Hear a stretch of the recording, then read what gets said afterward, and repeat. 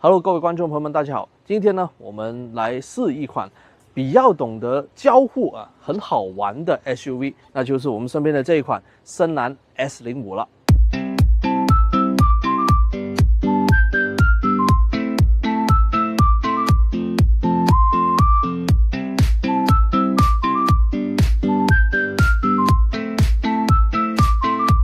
那其实深蓝 S 零五呢，之前在成都车展上已经完成了发布了。从外观造型上面看呢，其实并没有太多需要跟大家仔细介绍的地方。那么在这台车身上呢，我们开头的时候跟大家说它有比较强的交互啊，好玩的属性。好玩在什么地方呢？我们接下来一一跟大家介绍。首先呢，在外观部分呢，第一个要讲的就是这一个投影的大灯，这个 Depot Light 实际上它里面有一组。一百三十万像素的 LED 的灯光，那么这组灯光呢，它可以由你自定义投影一些文字啊，也可以投影光毯啊，甚至可以当成一个呃播放电影的一个投影仪来使用的，然后配合起。它这台车其实是有两个外车外的扬声器啊，那么搭配起来呢，这台车就是一个户外的放映装置。一般情况下，如果大家在路上看到一些新能源车头顶上长着犄角，那通常是激光雷达。但是啊，要是看到这样一台深蓝 S 零五呢，没有关系，它头顶上这个犄角啊，不是雷达，它实际上是一个高清的 4K 的摄像头，然后它可以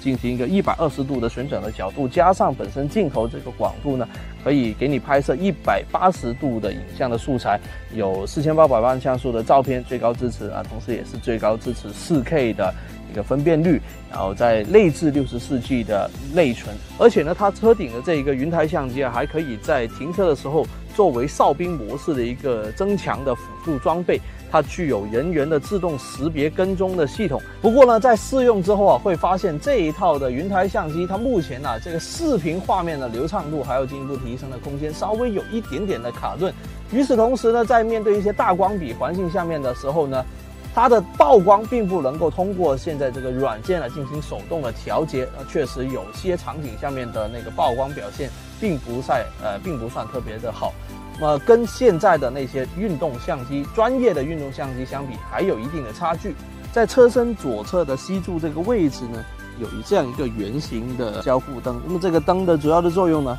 就是交互，就是好玩，纯粹的一个造型方面的设计。那么在车厢内部呢，很多好玩的东西其实集中在这一块十五点四英寸的中控大屏上面啊。深蓝呢将它称之为葵花屏，因为它可以左右十五度角的一角度啊。进行一个啊角度的切换，能够更方便主驾的驾驶者或者副驾位的乘客去操纵啊里面的功能，一些车顶的这个云台相机啊，或者说是一些啊车外的一些投影的功能呢，都是通过这里面的应用去操纵。而且呢，这套系统啊，它还内置了 AI 的空间，能够跟你进行一些 AI 的智能交互。与此同时呢，它的这一套。语音交互系统呢，也是有跟泡泡玛特做一个联名啊，它里面有一些音效啊，不同的音色，甚至交互的语言都可以选择，所以呢，这套智能的交互体验呢，还是挺好玩的。那除了好玩的装备之外呢，其实空间也是很重要的看点了。因为这一台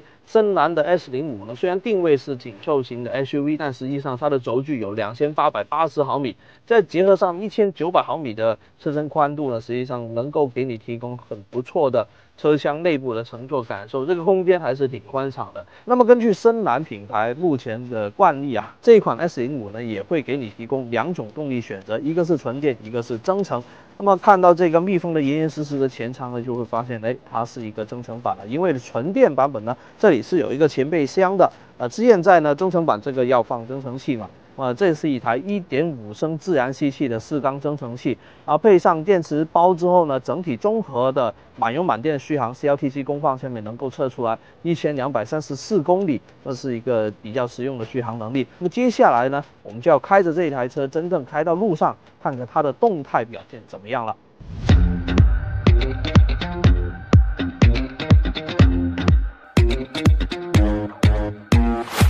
那么我们今天开的这一台增程版的车型呢，它也是采用一个单电机后置后驱的动力布局，然后呢，电机的最大功率是一百六十千瓦，那么相比起一百七十五千瓦的那个纯电版本的那个后后置电机的功率呢，相对会稍微小一些些。那但是呢，其实整体的这个动力表现、动力的感受呢，应该不会有太大的差别。毕竟这个数据上面的差异并不大。呃，虽然说它不会像很多呃新能源的车型一样一味的去堆这个动力的数据，但是呢，呃，结合它的定位，结合它的车型的属性啊，其实它更多是需要在这个日常生活当中作为一个通勤的呃车辆，更加呃重点的去考虑到它的这一些舒适性啊、平顺性方面的表现。所以呢，结合各方面来看，个人觉得马力小点没有问题啊，只要能够轻松的驱动这一台车就足够了。那么目前来说，这个动力感受，哪怕是在这种重庆的这山路上面要去进行一些上坡啊等等爬坡等等的操作呢，个人认为啊，它的表现已经完全合格了。那么与此同时的话呢，不得不提一下的就是它的这个隔音的表现的这静静谧性的程度也是挺好的。那现在我们已经进入到了一个高速的路段，我们能够开一百公里的速度巡航，大家能够发现它的车厢内部的静音程度确实是挺好的。那么综合各方面来看呢，深蓝 S 零五确实是一款好玩而且好用的车型。而不知道大家觉得这样一款车型卖多少钱你会感觉到心动呢？能够吸引你去购买呢？好，今天天关于深蓝 S 零五的第一次试驾体验呢，就到这里结束，我们下期节目再见了，拜拜。